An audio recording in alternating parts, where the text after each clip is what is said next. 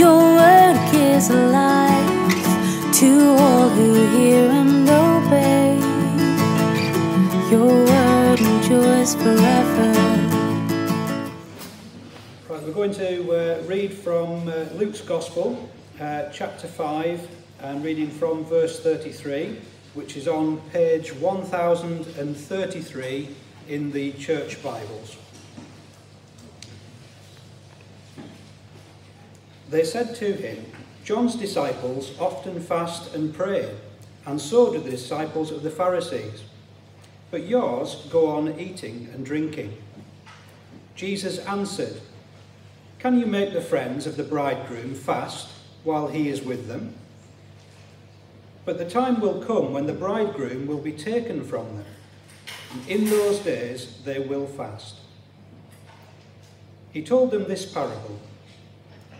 No one tears a piece out of a new garment to patch an old one. Otherwise, they will have torn the new garment, and the patch from the new will not match the old.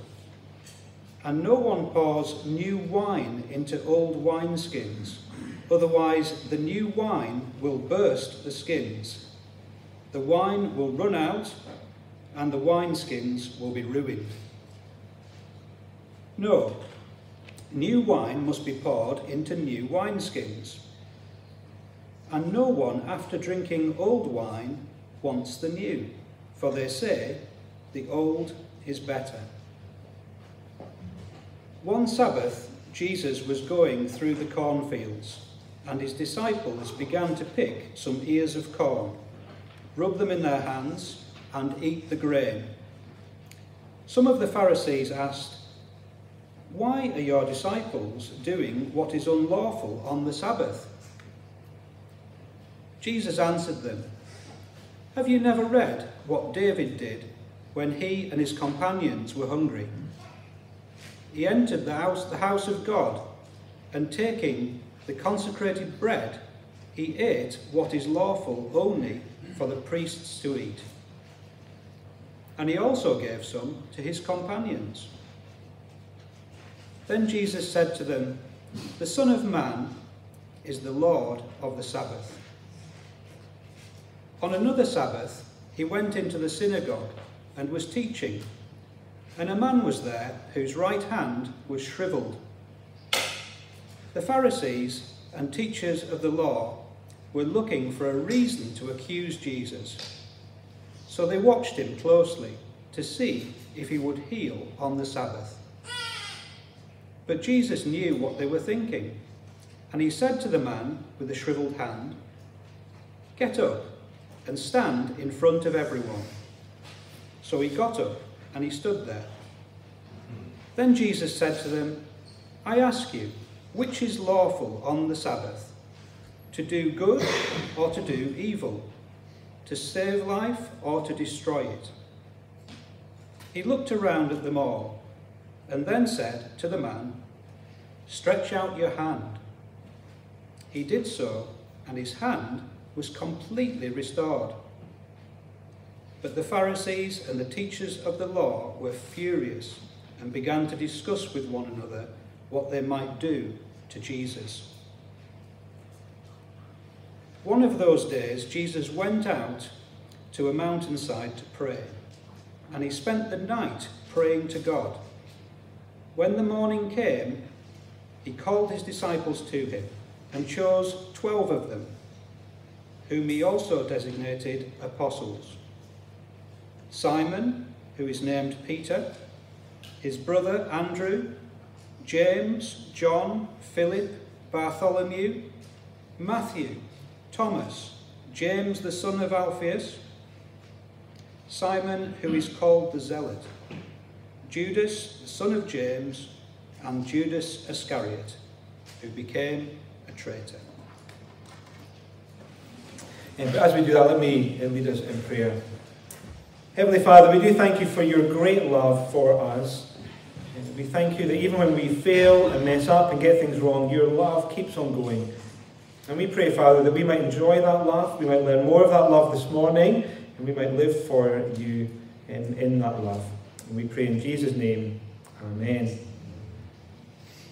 Uh, Kirsty and I uh, lived in uh, Australia for a, a, little while, and one of the one of the things that happens when you have uh, friends in Australia on social media, you get lots of pictures uh, of uh, beaches and things. Here's here's one of, of a beach, more water you can enjoy. Um, actually, this is this is an example. This is actually a harbour beach in Sydney, um, and actually the harbour in Sydney is really really dirty, even though the water looks beautiful and lovely.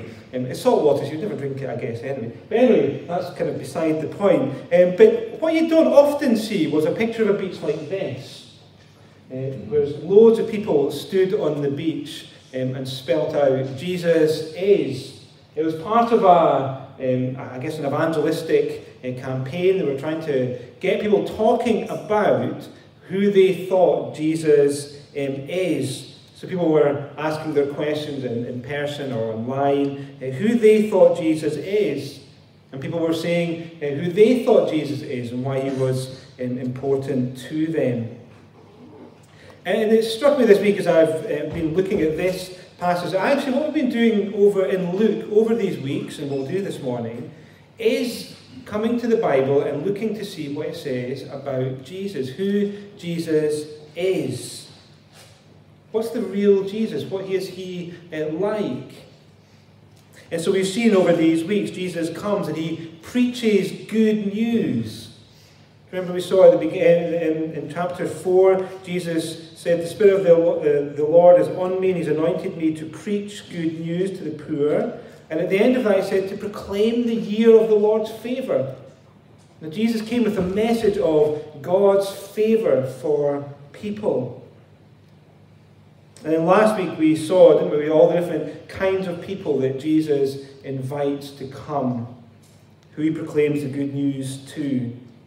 Those that thought of themselves as unworthy and sinful and they couldn't come into God's presence. The, uh, those who had been excluded from society, who had been considered unclean and wouldn't have been part of the society. Um, the guy who couldn't walk and had to be let through the roof, and Jesus says, Your sins are forgiven, and he heals his legs. And even the, the hated tax collectors. It was the, the undesirables that Jesus welcomes. And we said last week it was as if Jesus was inviting them to a party. We'll see that um, in today's passage as well. At the end of the passage last week, we saw uh, Jesus with all the tax collectors and all these others um, at a great banquet enjoying what Jesus has done for them. But we also saw last week that not everyone was happy about it. Do you remember in verse uh, 30 we see uh, the Pharisees and the teachers of the law who belonged to their sect complained to Jesus' disciples, Why do you eat and drink with tax collectors and sinners? You see, they turn this situation of great joy, this great banquet where all these people, all these outcasts, all those kind of people that wouldn't have naturally been welcomed, welcomed by uh, Jesus into something to complain about. They think they're not the kind of people that God would want to mix with. They're not the kind of people that, if you're going to represent God, that you should be wanting to mix with. They think that God wouldn't want to be near these kind of people. And the Pharisees, haven't they got it so, so wrong?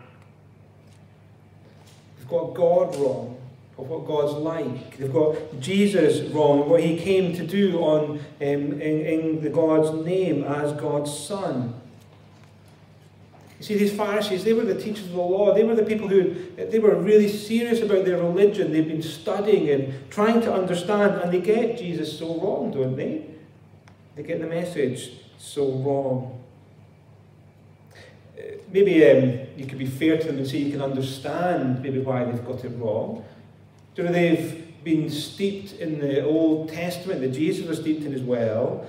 But during the Old Testament, we, we see the picture, don't we, that God is utterly holy, pure, right. And that people can't have contact with God because He is so pure. They've been brought up knowing that there was the law which taught them about ways in which they could keep themselves clean so they could come into contact with God. And so they have then formed this picture of God that He is so utterly distant and distant we can't get near Him, but if we're good enough, then maybe God would accept us. Of course, they missed the whole point of the Old Testament, which wasn't about that at all. Yes, God is utterly pure and holy, but God graciously brings people into relationship with Him. God loves them and welcomed them. And the law itself was a, was a big in a way, it's a bit like Lizzie's teaching aid on the floor. It's a big teaching aid to show them that actually they can't keep being pure by themselves. They can't get themselves into God's family. They messed up. They failed. They got sick. They died. They couldn't do it by themselves. They needed help. But the Pharisees missed the point. They think they can do it all by themselves. They can be in God's good books if they keep the rules. But when Jesus comes, it is such a blessed relief. Because he says, Welcome. Come in. Be part of the family. You don't need to strive to be pure and right before me. I can make you clean.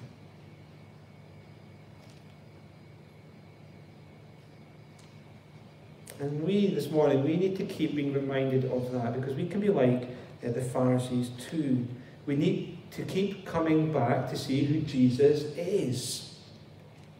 And this morning we're going to, in these instances, we're going to see uh, three things that Jesus uh, is. And firstly, we're going to see that he is the bridegroom.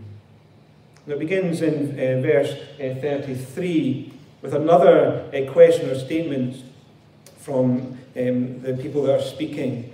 So see verse 33, they said to him, John's disciples often fast and pray, and so do the disciples of the Pharisees, but yours go on eating and drinking. Can you see there's a, a difference between the Pharisees and John's disciples? The Pharisees and John's disciples, they fast regularly and pray. They, that is, they stop eating and they have periods when they're just not eating.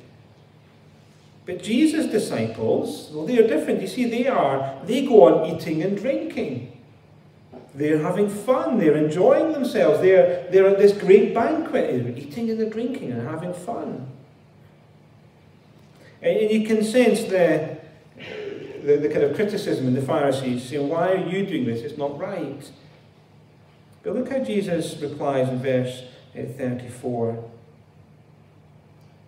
Can you make the friends of the bridegroom fast while he is with them? You see what Jesus is saying here? He's saying, look, wouldn't it be ridiculous to go to a wedding when the bride and the groom are there and there's the wedding banquet and the feast, and you're saying, no, no, I'm fasting. I'm not going to, I'm not going to be part of this party. So one of the joys of a wedding, isn't it, that you go and you, you eat and you drink and you celebrate with uh, people. Do you know whether it's the cake reception after the wedding? I think they're, I think they're quite fairly recent. I think they're great, great addition. They have the service, you go across to the hall, and you have a cake reception. Then you get to the wedding, and you get canopies. Canopies are great. I went to one wedding uh, once, um, um, Admin Rose will know this, this one. They, they had the best canopies. It was down south. They had like little Yorkshire puddings with a little bit of roast beef and, and a little bit of kind of horseradish on top. It was delicious. And then you have the meal, and then after the meal, you might have had a bit of dancing, and then you'll have a, a, a buffet in the evening. And maybe they'll, I loved it when they had those cheese cakes. You know, they had all this kind of cheese and all the cracker. It's great, isn't it? Anyway, that's maybe that's kind of beside it. But you don't fast, do you? When you're at a wedding feast like that. And that's the point that Jesus is making here. He's saying the bridegroom is here. Why would you think the disciples would fast? This is a time for celebration, a time for enjoyment, a time for fun. And Jesus is saying he is that uh, bridegroom. That's what he's really saying which is really significant because see, Jesus has not just chosen this illustration at random. The bridegroom, well, in the Old Testament, the bridegroom was God Himself. God decide, describes Himself as being the bridegroom of His people Israel. That God Himself would be the bridegroom who would comfort and come to His people and provide for them and care for them and save them. Listen to these words from uh, Isaiah, a little bit of it up here. Do not be afraid you will not be put to shame. Do not fear disgrace, you will not be humiliated. You will forget the shame of your youth and remember no more the reproach of your widowhood. For your Maker is your husband. The Lord Almighty is his name. The Holy One of Israel is your Redeemer. He is called the God of all the earth. Did you hear that? God Himself was going to be their husband. He was going to be the bridegroom. And Jesus is saying, The bridegroom has come, and He is calling people, and it's a time for joy. Well, listen to these words a few chapters later in Isaiah 62. It begins with, No longer will, you, will they call you deserted, or your name land, or, or name your land desolate, but you will be called Hephzibah, apparently which means delight in her. You'll be called delight in her. And your land, Beulah, meaning married. For the Lord will take delight in you, and your land will be married. As a young man marries a young woman, so your builder will marry you. As a bridegroom rejoices over his bride, so God will rejoice over you. And Jesus is saying, Look, I'm the bridegroom, I'm here. And so, of course, there's going to be fun. Of course, there's going to be eating and drinking. Of course, there's going to be joy. Let's pick up the language we saw last week. when the doctor comes and heals the patient, there's going to be joy at that, isn't there? Jesus comes to call sinners to repentance, and there's going to be joy and delight. That's who Jesus is. He's the bridegroom. In the next passage, we see that Jesus is the Lord of the Sabbath. Again, it, starts in the next section with a, another, another issue, so verses 1 and 2. One Sabbath, Jesus was going through the cornfield, and the disciples began to pick some ears of corn, rub them in their hands, and eat the grain. Some of the Pharisees asked, Why are you doing what is unlawful on the Sabbath? You see, once again, the Pharisees, they're concerned about the law. Should the disciples be picking corn, rubbing it between their hands, and having a snack as they walk along? They thought they shouldn't be doing that. We'll come back to that a little bit more uh, later. You see, the point is they think Jesus is doing something wrong. And Jesus answers in verse 3 Have you never read? It's interesting, Jesus does this quite a lot. He says, Have you read your Bible? Because that's where the answer is. Look at the Bible. You might look at what Jesus says here and think, what's a little bit strange. Verse 3 says, Have you never read what David did when he and his companions were hungry? He entered the house of God, and taking the consecrated bread, he ate what is lawful only for the priest to eat, and he also gave some to his companions. And you think, why does Jesus raise that? And I think the answer is that because he started to speak about the king. It's speaking about David, who was the king of the people. And you see, it seems to be saying David had authority as God's king to be able to go and take the bread, which really wasn't lawful for him to eat. It was only meant to be the priests who ate this particular bread. But David could come in and provide for his people. And so Jesus says, the Son of Man is Lord of the Sabbath. Jesus is saying, I've got authority over the Sabbath. Indeed, I'm the fulfillment of the Sabbath. I can do this. You see, the Pharisees, they're asking a question about the rules to follow, but Jesus is saying, look, there's something much bigger going on. I'm the fulfillment of all those rules. I'm the one who has authority. I'm the Lord. And when we're trusting in Him as Lord, there is freedom to live as we were intended to live. Before we think a little bit more about the Pharisees' reaction, look at the next section, which we see that Jesus is the life giver. We've seen Jesus the bridegroom, Jesus is the Lord of the Sabbath, that Jesus is the life giver. Verse 6 again, Jesus is in the synagogue teaching. That's what he does all the time in these chapters. Isn't? He's in the synagogue, he's teaching people, teaching them about the kingdom of God, about the year of the God's favour. And there in the in synagogue, there was a man whose hand was shriveled. We don't know how that happened. Um, but here's a man with a disability, a hand that he couldn't use. And we see in verse 7 rather than feel concern for the man, the Pharisees are watching, thinking they might be able to trap Jesus. Jesus knows their game, he knows what they're thinking. And so let's pick it up again in verse 9. Jesus says to them, I ask you, which is lawful on the Sabbath? To do good or to do evil, to save life or to destroy it. And he looked round at them all. And he said to the man, Stretch out your hand. And he did so, and it was completely restored. Now, can you see the point that Jesus is trying to make here? That he heals the man's hand. But you see the questions that he asks. Is it lawful on the Sabbath to do good or to do evil? It's an obvious question, isn't it? It's right to do good. And is it right on the Sabbath to save life or destroy it? Again, the point is, is, is obvious, it? Surely save life. And so, what's Jesus doing here? Is he doing good or evil? He's doing good, isn't he? Is he saving life or destroying it? He is saving life. See, Jesus is saying, Look, I'm the one who's come to give life. Life to those who need it. So, can you see the joy that Jesus brings? He's the bridegroom, and so there's great rejoicing when he's here. He is the Lord of the Sabbath, and so there's great freedom to live. He is the one who brings life to those who desperately need it. That's good, right, isn't it? This is, this is the Jesus that we uh, come to follow. This is our Jesus. But you see, the Pharisees don't see it. And the question is, are we the same? The Pharisees don't see it. And as I've reflected on this this week, as I've looked at the Pharisees and looked at my own life, it's made me ask the question, do I really see this?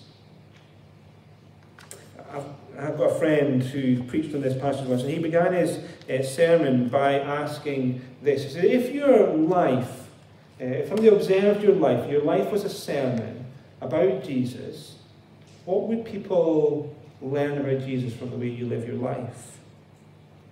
Now, what story would your life tell of your Saviour uh, over this week?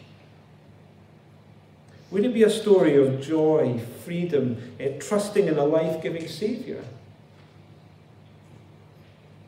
Would your story, uh, would your, the story of your life reflect that the bridegroom has come? That we have freedom in the Lord of the Sabbath, that He brings life to us as our King? It's challenging, isn't it, I think, when you ask that question. We were having um, a brunch with some people uh, yesterday, and they um, described how this kind of actually works somehow, actually. So they were saying that their, their daughter has been baptized at a church, um, and they've got other siblings who are not necessarily uh, Christians, um, and they've got kind of partners and things. And they'd come to um, uh, this service, and they'd heard the testimony of the daughter. And one of their um, kind of in the, the, kind of their, their children and one of their uh, partners, their partners came after me and said, "What's going on here? I don't understand. Her life has been changed completely by this message about Jesus. You, you seem to have a joy in your life, a, a happiness, a, a, a, a hope. What's what is it about? I want to learn. Can you teach me?" And so she's going to do Christianity Explored and learn what it is that this message is all about. That's how, that's how it should work, isn't it? Our lives are uh, stories of joy, of delight, of hope in Jesus. But I wonder whether, in fact, often our lives, I, I reflect this on myself as well, whether my life is more like the Pharisees. Because, see, they're not marked, are they, here by joy, freedom, and life. You see, they're marked much more by grumbling and fear and withholding. Do you see how it works with the fasting and the, the Sabbath regulations?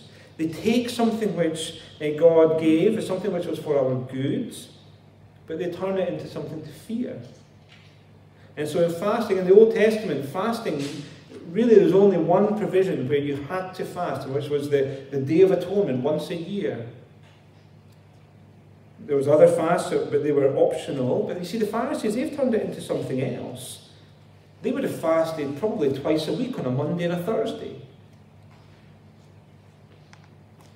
They turned this keeping of the law into the basis for the relationship with God.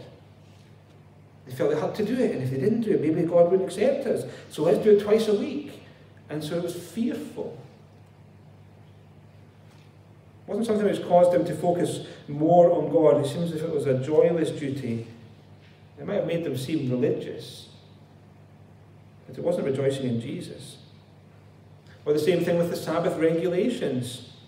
Keeping the Sabbath became entirely different. No, Sabbath was meant to be the time of rest, to enjoy God, to focus again on God, to uh, recognize our dependence on Him and see His presence. Yet the Pharisees by this time had turned it into uh, a whole load of rules. You know, it's almost as if they, they started with the Sabbath rules in the middle and they say, well, God says don't work on the Sabbath. Okay, so we all want to work on the Sabbath. Well, if we make a whole load of more, more rules around the outside of that, then we will definitely not break the Sabbath. We've got these extra rules. Or maybe if we set some more rules outside of that, then we can break those rules, but we're not going to get into the one to break it in the middle. And so it just becomes this basis of rules and regulations. And they thought by doing that they were going to be okay with God. And they missed the point completely. The Old Testament law was meant to point to the futility of trying to relate to God on the basis of law. They should have been humble to see they needed a Saviour and to rejoice when the Saviour came. But no, they wanted to try keeping the rules all the harder and policing other people to keep the rules as well. And they become callous and indifferent. Looking on the man with that withered hand, he was just there to see whether they could trap Jesus. They had no concern for him. And ironically, did you see at the end that they, they go out and they plot with one another to to kill Jesus on the Sabbath? It's like the, the, the kind of greatest illustration of how wrong they've gone, isn't it? You see, they should have realized they needed something more. They needed Jesus. And that's the point of the little parable at the end of chapter 5. They needed something new. You can't just kind of try and patch up something. See what Jesus says, verse 36? No one tears a piece out of a new garment to patch an old one. Otherwise, they'll have torn the new garment, and the patch from the new will not match the old. And so both things are broken, Jesus is saying. And no one pours new wine into old wineskin, otherwise the new wine will burst the skins, and the wine will run out, and the new wine will be ru- ru- the wineskins will be ruined. The new wine must be poured into new wineskins. See, Jesus said, you can't just patch the old system. You need something completely new, and Jesus is that one. He brings joy and freedom and life. But see, the problem with the Pharisees is they would rather hold on to the old. I think that's the point of uh, what Jesus says in verse 39. No one after drinking the old wine wants the new, for they say the old is better. I don't think that's a comment about a vintage wine being better than young wine. It's not, it's not, it's not saying that. It's, it's, it's saying rather, they would rather hold on to the old way of life than turn to Jesus and find the joy and the delight that he brings. And I think that's something that we can so easily do, isn't it? So maybe you've kind of grown up in a church, you've never really understood the message of Jesus, but you think it's all about the rules you need to keep to be a Christian. And so you come to church week by week and you think, well, maybe I'll be all right with God. I've come to church each week. I've kept the rules. I've read my Bible. I must be okay. Or you, you think it was the, it's all about the tradition of the church. The traditions can be good, can't they? But if you think, well, I've kept the traditions, and so therefore everything is okay, but I must make sure I keep the traditions. Or we can even do it with our Bible reading, can't we? We come to our Bible reading in the morning, we think, okay, going, I must read my Bible in the morning, because then, then I'll be okay with God. And so we read the Bible, but we're not really concerned about the things we're reading. We're more just concerned about the act of reading the Bible. We think that's the good thing to do and it becomes a duty and a chore rather than a delight to find out about our God and the way He speaks to us. Or we come to church because it's a duty to do, and it's hard work, and it's boring, and it's a bit of a char, a bit of a chore, and we become depressed by it, rather than thinking, oh, it's great to be at church, and I get to gather with the other people that God's called in this place. I get to hear God speak through His Word to me this morning. I'll get to hear more of His promises so I can trust in Him. And when rules begin to dominate how we think about God, then we become like the Pharisees when we don't rejoice. Because you see, Jesus is the bridegroom who came to redeem people, bring people to himself, to provide for them and care for them. We're not thankful that Jesus is the Lord of the Sabbath, the one who brings freedom. We're not delighting in Jesus who brings life. Of course, we can miss it the other way too, I think. Or we can think it's all about rules. So we must keep the rules, and therefore we don't rejoice in Jesus. But on the other hand, we can go the other way and think, well, no, Jesus has saved me, so that's great, so I can live life however I want. I can do whatever I want now. It's great. And so, in that sense, we, we leave Jesus behind because we're now rejoicing in all the things that we can do and we can live the hedonistic lifestyle that we want. We've left Jesus behind. And I think this passage is trying to get us to see that Jesus is the centre of it all. Jesus is the one who provides for us. Jesus is the one who brings joy. Jesus is the one who provides freedom. Jesus is the one who provides life for us. And who wants to give us that life and that joy. So we need to keep coming back to Jesus, don't we? And encouraging each other to keep coming back to Jesus and spurring each other on to keep Jesus right at the centre of our faith. Living for Him, rejoicing in Him, delighting in Him, in all that He brings. Let me pray. Heavenly Father, we want to give you great thanks for Jesus, for all He is, and for all that He means to us. Our Heavenly Father, we do confess that we recognize that easily we can become like the Pharisees. And we miss Jesus and think the Christian life is all about duty and performance and rules. And so we become hard and joyless and indifferent to others. Would you protect us from that and help us to rejoice in Jesus, the one who did come for us, and trust in him alone. For we, we pray in Jesus' name. Amen. Your gives life to all who hear and obey.